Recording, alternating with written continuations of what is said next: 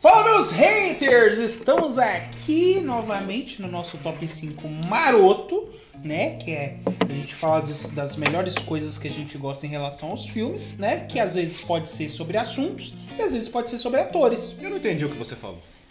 Tá bom, desculpa. e nós vamos falar agora sobre atores. Um ator que a gente gosta muito, Penny gente Boy. gosta. Ele é ator, ele é diretor, mas é engraçado que assim, ele é muito diversificado, mas ele sempre faz o papel dele mesmo.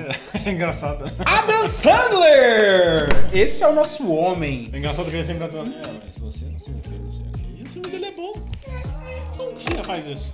É engraçado, né? Ele faz o papel dele mesmo e é Ele é sempre bom. ele é. Né? Tem todos os elementos que tem em todos os filmes, mas é bom. Reza a, lenda, reza a lenda que o Adam Sandler só é querido aqui no Brasil, nos Estados Unidos, o pessoal não, cur- não curte muito o filme dele, não. Eu ouvi falar isso, não sei se é verdade. Mas você sabe que um filme que não tá aqui já pode hatear a gente, que é Joias Brutas? Ele foi muito bem elogiado. E até queriam indicar ele pro Oscar, viu? Sério? Eu Sério? nem sei que filme que é. Eu assisti esse filme, mas eu não gostei, não. Quem faz um papel meio sério e tal, assim. Esse realmente ele não fez o papel de assassino. Ele tem que ser o Adam Sandler. Ele tem que ser lá dançando. E eu já vou começar, Vini Boy, com o meu s- quinto lugar. meu quinto. É que a gente acabou de gravar sobre luta, aí eu ainda tô no, no Ah, espírito, tá. entendeu? Entendi. Então eu vou pro meu quinto lugar, que é o Paizão, né? Lembra da, da, daquela música Sweet Child and Mike que toca? Só que não é na versão do Guns N' Roses, é na versão de uma mina. Ela tá.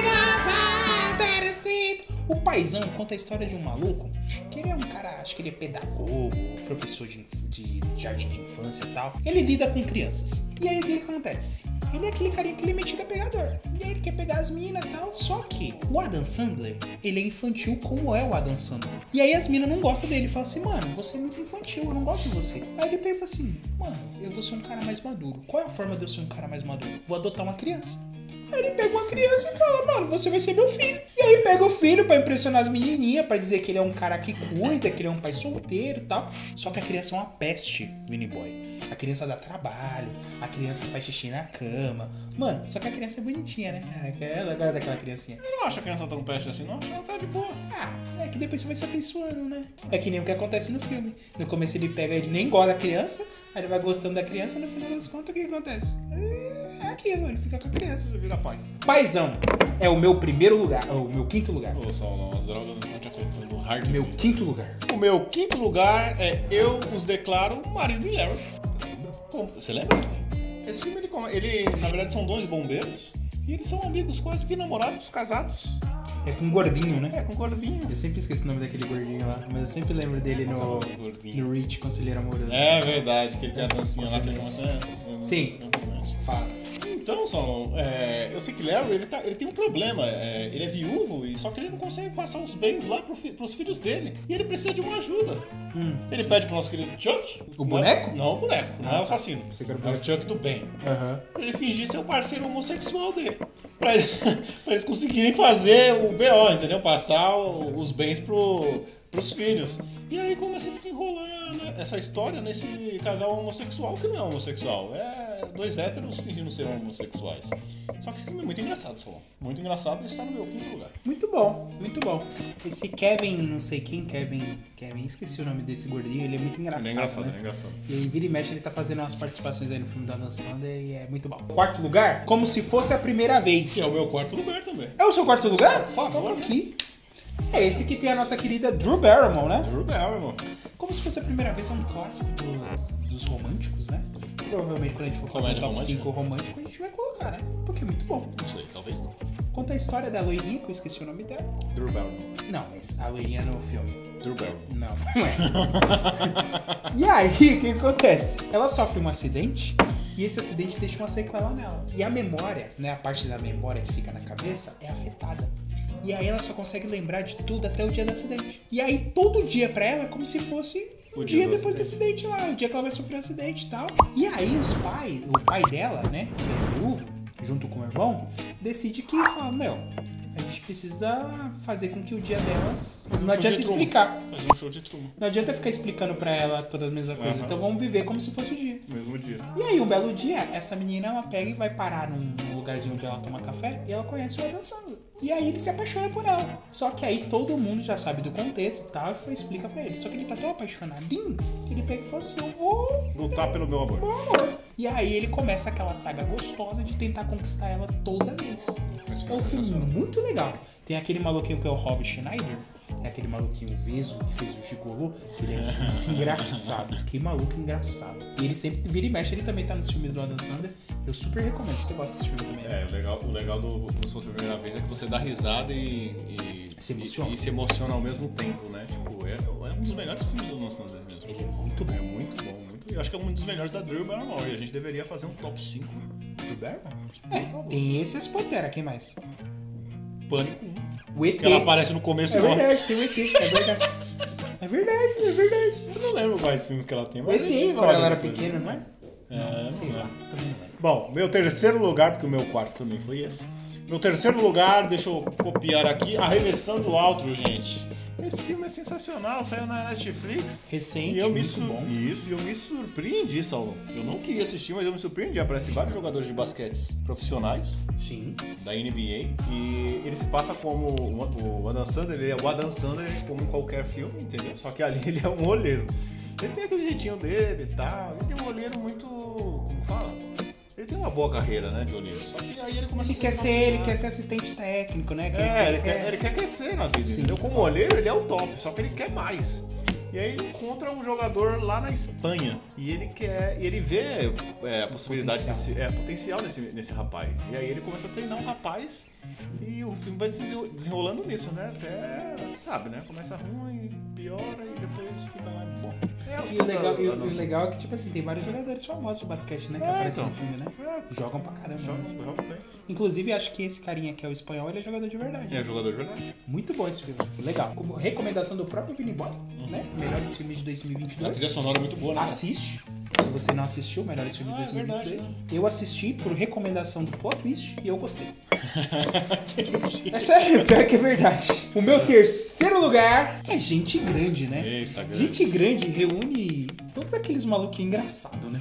Mano, ele reúne o próprio Adam Sandler, esse Kevin James, né? Lembrei o segundo nome Ah, dele, que é o gordinho. lembrou o nomezinho. Chris Rock, Não levou o tapa ainda. engraçadão antes do tapa, Antes do tapa. né? E o Rob Schneider. Mano, é muito engraçado esse filme. porque esse maluco, esse Rob Schneider, ele aparece. Ele tá todo mundo com as esposas que ele se encontra depois de 30 anos, né? Eles jogavam basquete quando eles eram criança e tal, eles se resolvem se encontrar. Aí cada um com as suas esposas, né? O Kevin James é que tem uma esposa gostosona, que dá de mamar pra um moleque de 4 anos, de peitão assim. O Adam Sandler é o que tem a, aquela menina Salma Hayek, que pra mim ela sempre foi a Salma Hayek. E aí o. o, o, o, A Salma Hayek. Aí aparece o Rob Schneider com a véia. Que ela pega e fala assim: Nossa, a esposa tá dançando. Nossa, que legal a sua mãe. Eu falo assim: Não, é minha esposa. E aí começa a dar uns beijão de língua assim, ó. E fica os caras assim: Nossa, que coisa nojenta, que coisa nojenta. Mano, esse filme ele é muito engraçado. Ele é muito engraçado. Eu não Tem o lembro, Gente Grande, assisti, mas eu não Tem o lembro. Gente Grande 2, que pra mim não é tão engraçado. Mas esse daí eu gosto muito. E Chris Rock também, ele é sensacional. Sensacional.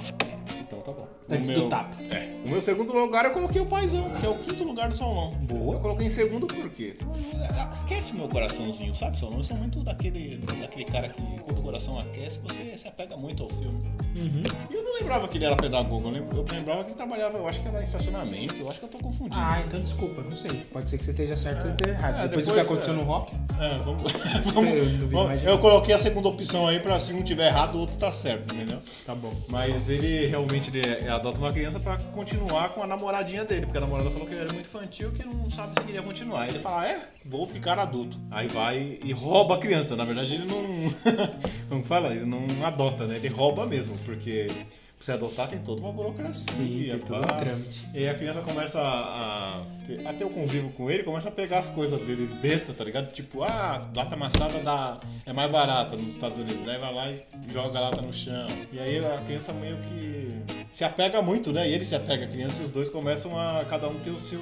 Que nem você.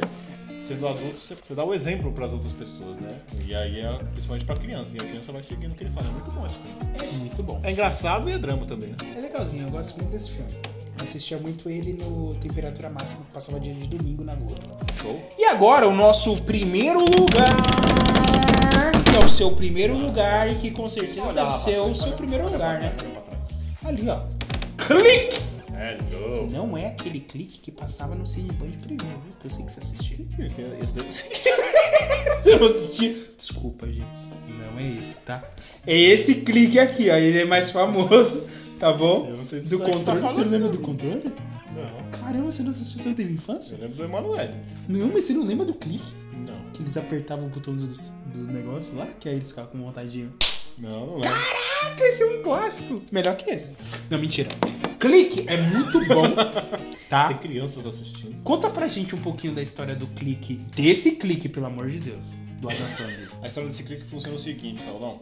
Esse rapaz, ele vai numa loja. Eu não, sei- eu não lembro que loja que é, faz muito tempo que eu assisti, mas ele vai numa loja e ele conhece o Morte. Quem é o Morte? Não lembro. É a morte. A morte é a morte. Sim. Entendeu? E essa morte ela vai buscar as pessoas. E aí. É, eu- eu É engraçado que esse maluco da morte que você falou agora, agora me veio na cabeça, foi o mesmo maluquinho que aparece no Ruptura. É verdade, Né? é, que ele tem um relacionamento lá com um. Homossexual, É, tá? verdade, ó, Legal. Tá vendo como as coisas linkam? Eu esqueci o nome dele. Nossa, colocar e lembrava, não, quando eu assisti Ruptura, eu falei, mano, eu conheci esse cara. É, não sei ele da é de lá. É verdade. Que ele tem um é a relacionamento morte. com o Falcone, É, né? com o Falcone. Mas continua. Exatamente.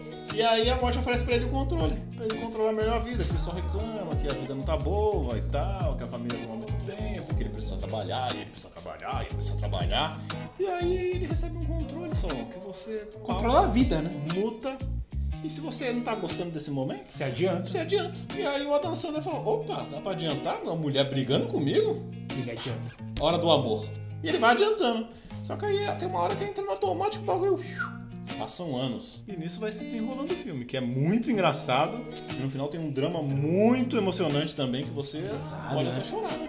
Não, eu chorei. Você esse chorou? filme. Esse filme é muito Então, bom. mas é muito bom. Esse é um tipo de filme que me emociona, tipo Homem Bicentenário, sabe? Uhum. Esse filme me emociona pra caramba. E eu gosto pra caramba desse filme. Eu tenho, uma, eu tenho uma boa memória. Só que é um filme que me incomoda quando eu assisto ele, porque eu, eu sei que o final dele é legal, mas tipo, é meio desesperador, né? Quando ele vê que, tipo assim, ele tá velho e Final. que ele não consegue recuperar a família, que você fica, mano, que. né? E ele faz te refletir, né? É, Fala assim, meu, eu preciso, é, eu preciso viver a minha vida agora. Até os momentos tenho, ruins, é, né? Aproveitar o que eu tenho. Até os momentos ruins, porque a gente, a gente quer adiantar os momentos ruins da nossa vida, mas é isso que faz o ser humano, né? E às vezes a gente não dá valor também, porque a gente acha que vai conseguir algo melhor, mas você já tem algo bom. E aí ele Exatamente. quer, tipo, é, subir de cargo pra dar um, algo melhor pra família, mas ali já tá bom, entendeu? É, só ele aproveitar aquele momento. É muito legal esse filme, ele A passa uma mensagem muito legal. Filosofou aqui, hein? Porque esse clique. filme ele é muito bom. É realmente. Tá vendo? O Adam Sandler não é só um rostinho bonito e um excelente ator. Né? Não, Ele- mas excelente ator. mas ele é legal. Mas ele é legal. e ele faz filmes legais. E nós, como os caras legais, gostamos de falar desse cara legal. É, exatamente. É isso aí, galera. Então deixa aí a sua opinião sobre o que você achou do nosso top 5. Tem muitos filmes do Adam Sandler que ele faz papéis de Adam Sandler que você pode colocar aí também. a gente nem Tá bom? lembra. Exatamente. Então é isso aí, galera. Muito obrigado. Tchau!